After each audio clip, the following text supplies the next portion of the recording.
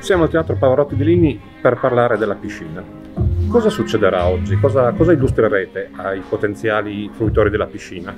Allora, intanto la presa di coscienza nostra e anche speriamo quella del territorio di avere un impianto totalmente sui generis, cioè tanto è vero che abbiamo deciso di chiamarlo col suo stesso nome, o almeno con il nome che gli si appropria, gli si addice di più, cioè lo stadio del nuoto, della pallanuoto e del sinco e dei tuffi anche è una struttura che ci ha colpito per caratteristiche, per unicità anche nel territorio nazionale, forse ce ne saranno altre due o tre di queste entità e soprattutto la sinergia trovata con l'amministrazione comunale e le intese che poi ne sono venute derivate ci ha convinto ad accettare la sfida. Eh, avete la piscina in mano diciamo dal mese di dicembre. Quali sono le difficoltà principali che avete trovato dal momento che era chiusa da parecchio tempo per più di un motivo?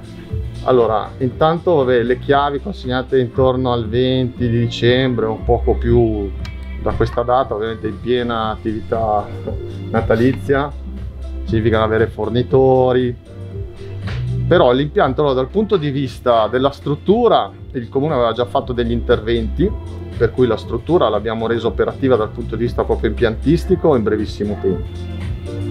Più che altro ci siamo un po' allungati sulla parte di reception, di front office, layout, eh, perché a parte la parte spogliatoi che era già completamente attrezzata, tutta la parte del front office era completamente sguarnita, quindi anche quello diciamo che in 20 giorni siamo riusciti a metterla dignitosamente in attività.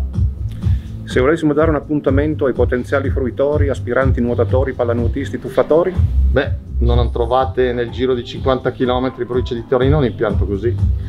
Quindi se siete, se siete appassionati di nuoto sapete cosa sto dicendo. E vogliamo ricordare l'indirizzo? Allora, è in via Volpiano 38D a Leini presso la cittadella dello sport. Grazie. Grazie a voi.